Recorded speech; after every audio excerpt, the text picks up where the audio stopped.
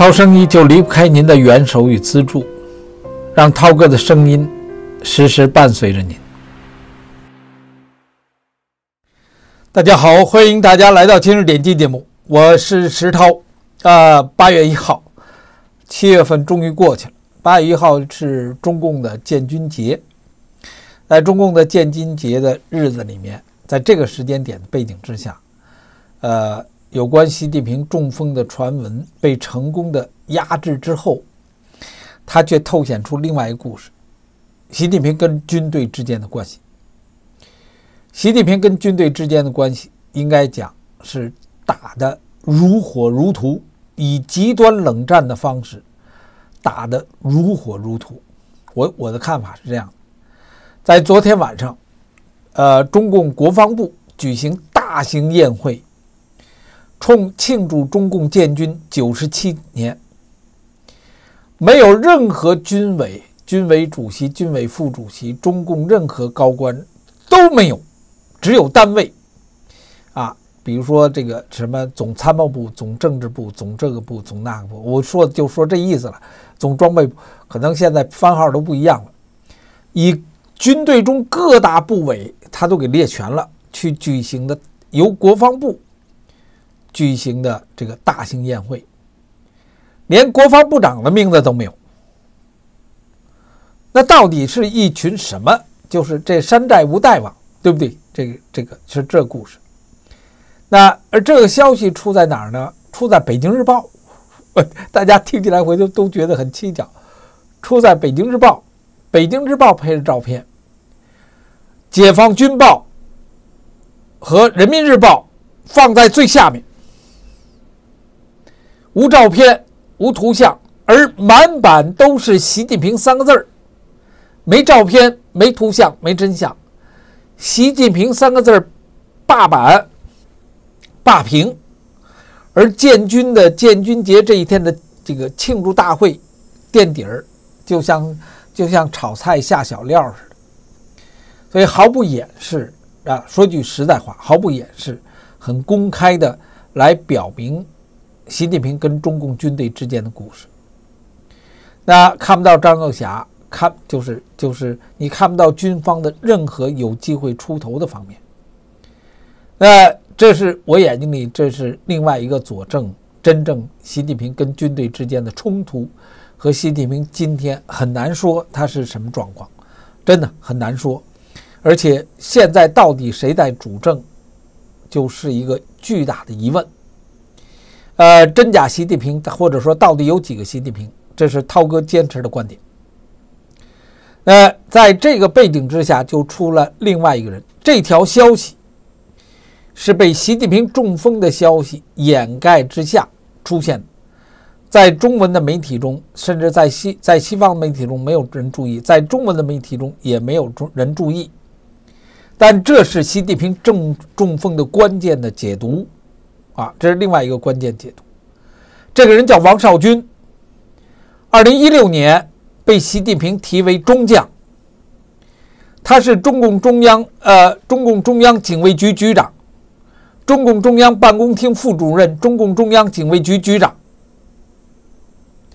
可以拿着枪跟习近平面前耀武扬威，带着子弹，是这么个家伙。呃，中共联合参谋部警卫局局长，那他为什么有趣呢？也不叫有趣了，他今年只有六十七岁。那在中共这样的年龄当中，六十七岁不不不是一个不是一个逼迫退休的年龄。在七月二十四号，习近平盛传中风政变的消息的过程中，那被公布这哥们儿死了。这哥们儿死了，死了怎么死的？病死的，突发疾病而死。什么病不说，没人知道。人说涛哥是不是中共病毒？可能是，可能不是。但问题出在哪儿？他是七月二十四号宣布他死亡，他实际死亡的时间是四月二十六号。四月二十六号死亡，那个时间的前后。是中共宣布七中这个这个三中全会要开会的时间。同时那个时候宣布本身两任国防部长被拿下，开除党籍。李尚富、魏凤和是这么一块来的。那这个一块来的故事就不一样了。中央警卫局局长在四月底死了，习近平完全全被全给他掩盖了。在习近平自己中风传闻的时候，才跟着大家伙说他死了。在一九七六年的时候，而为什么在七月二十四号出这故事呢？在习近平批中风，呃，习近平在在在批驳就批谣的时候，是七月二十号露面，在在这个越在这个越南大使馆。等到七月二十四号的时候，就网络上盛传说，你要想起当年的四人帮，对不对？当年的四人帮是十月二一九七六年十月四号、十月六号。那当时呢，王东兴、李先念。呃，傍着华国锋，然后说要开会，然后把这那四个人给整在一块儿，然后中央警卫局的人抓的，谁干的呢？汪东兴。汪东兴当时是中央警卫局局长。汪东兴原来做过毛泽东的这个身边的就是警卫局局长，所以就跟他的位置是一样的。那中央警卫局大概一两万人，所以他就他就野战军根本就搭不上边儿。所以就在里头就把他们全给搬了。带枪有真相，有大枪，有小枪，有没有坦克咱不知道。按道理说应该有装甲车、装甲兵啊，坦克这些可能都有。所以这是等同的。在七月二十四号的时候，网络上就出现说：“你想想当年的习，当年的这个四人帮，哎，就是先抓了错后了，然后再公布了，有这么个铺垫期。”而这个铺垫器呢，是毛泽东死了九月九号死了之后一个月之后抓的，哎，这故事就这么讲的。所以在故事这么讲的时候，中共中央警卫局局长被宣布死亡，就是什么意思？就是说我跟你们说，对不对？你想找汪东兴那角儿已经被我给杀了，才他习近平就是暗语是这个，这个人没了，你找谁去？我已经下手在先了，我知道你们要对我不利。那习近平讲这话，就是这手活干谁？干掉想谋反他的人，对不对？谁在谋反他？这他他故事就这么一圈的。那党政军上上下下全是反习的各方势力，对不对？全是反习的。那有人就传言说，他呢是曾经抓过习近平，呃，在这个。习近平出访回来，回到那个南苑机场的时候，现在不叫南苑机场了，南苑机场就是就是呃北京的军事机场。结果呢，中央警卫局局长 带着两百多人，把习近平给扣在那儿了，说来自于江家势力、胡锦涛的势力，什么就 whatever。那后来呢，这哥们手软了，就是真跟习近平谈。胡锦涛手软了，跟习近平谈判，谈判呢，以为就如何如何，结果人习近平又。又调来野战军，就应该是中央军区的野战军，一个坦克师把这个南苑机场给围了，所以就把这小子就给杀了。他讲的是这个故事，这故事我个人不太敢相信啊，咱就是传闻了。但是呢，我现在跟大家分享，这是确认。所以这个确认的方式，代表着习近平跟军方完全势不两立，而在势不两立的本身上。却出现了习近平身边最身边的人，最身边的人，他不，你是不是习近平给杀的？或者说，是不是他真的想杀掉习近平？这是真真应对，真是应对了。呃，在推背图第四十六图吧，对吧？什么东边藏藏着剑，勇士雍后宫，可能是这个。一直张幼霞的传言是这么说的。那有很多人也说。张永霞没有军权，他带不了兵，这个我个人也承认。你现在目前来讲很难的，但是中央警卫局局长杀掉习近平是完全可以的啊，完全可以。这就是一个基本大的，我要跟大家分享基本大的框架。习近平中风没中风，以这样的方式就放在这儿。但是中央警卫局原局长他一手提拔的中将，莫名其妙的死了，死了之后莫名其妙的在他中风期间宣布死亡，往后拖了三个月，这一定是有原因的。他公布的原因不是给你我看的，他公布的原因是给中共内部真正要习近平命的人，告诉他们，你们所委托的要杀我的人被我给杀了。这是真正如火如荼。你让我解释是这样，跟大家分享一下它的来历。呃，这条这条消息是几天前的一段故事。那他就他大概讲述了，这是消息比较确实了。七月二十四号下午，突发新闻，呃，中共中央办公厅原副主任兼警卫局局长，中央军委联合参谋部警卫局原中将局长。兼中央呃中央警卫团团长王少军突然逝世，那享年六十七岁。然后随后几个小时，这个消这个消息其实确实没有没有流传起来。然后就就这么有着不同的报道了。一种报道是说的，呃，可能他的家人王少军家人无法接受。那在网上曝光之后。表示哀悼，但更多人觉得很好奇，是不是染了中共病毒？那就是还是打针造成的。那官方是七月二十四号公布的，说医治无效，什么样的病不知道。然后有人就找到王少军的这个公开的一些活动，在公开的活活动当中呢，王少军显示着非常简单的、普通的、简单的人。这是被人找到的王少军的近照，应该讲说你看不出他有任何毛病。那感觉上呢，这个地方感觉上呢，在北京，比如说十三陵水库啊，呃，给我的感觉是这样的，因为那个水库应该我出国二十多年，它也不会改变太大。去十三陵玩，那十三陵水库应该是可以是可以考虑到的。而这个时间点，从他的穿戴衣服。和背后的山，背后的山是没有什么绿的啊，呃，你要说四五月份、三四月份是非常可能的，呃，当然这些我们完全是一种猜测了。在这篇报道当中，他就提到网友们的质疑。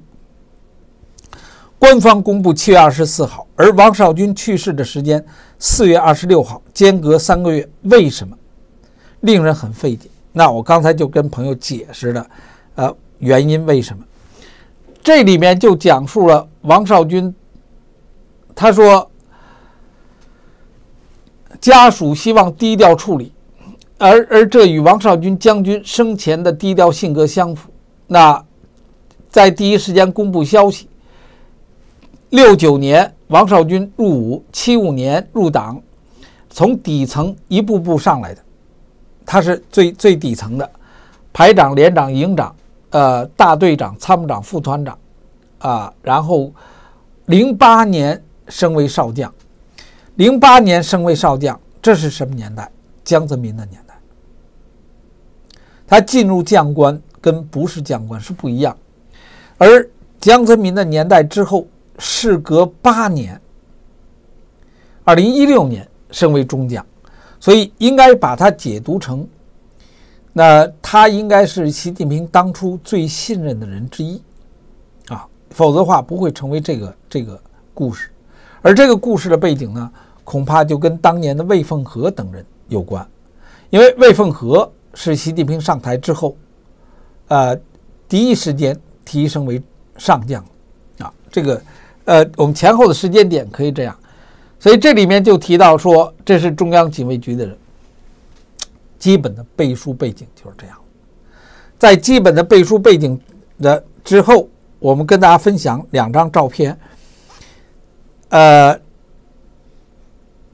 这是八月一号的军报，今天的解放军报，习近平，然后他说，习近平出席中央国家机关三中全会精神报告啊，你要知道啊，这个三中全会。十八号结束，八月一号他才开始出席，由蔡奇陪同。这里突出个蔡奇，我们节目中说的没有蔡奇，没有习近平，然后他就蔡奇就出来，那挺逗的，真的挺逗的。习近平在政治局第十六次集体会议上强调如何如何，习近平回信勉励，叫强军精武红四连，《求实》杂志习近平重要文章，那新时代新长征，呃，建军科学指南，习近平。最角上出了一个套红字，国防部举行盛大招待会，庆祝建军九十七年。啊，里面他提到说，呃，中央军这在这里他提到中央军委联合参谋长刘振立，然后苗华以及张生民出代出席招待会，那国防部长董军出席致辞。没有任何照片，啊，什么意思？最最可能的弱化他们，同时跟习近平平衡。上面的平习近平参加了这么多会议，没有一张照片，包括跟蔡奇陪同的，那下面的军队就不能出现照片。这这是军报啊！呃，你的朋友不信，你可以自己查，这是人民日报，这今天的。前面都是一样，蔡奇陪同出席，排版都是一样，回军完全都是一样。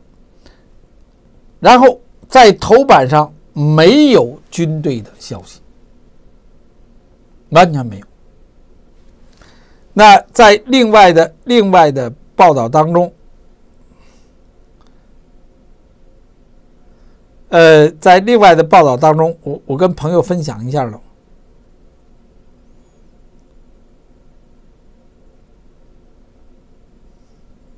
这是来讲述了别的媒体的本身的引述，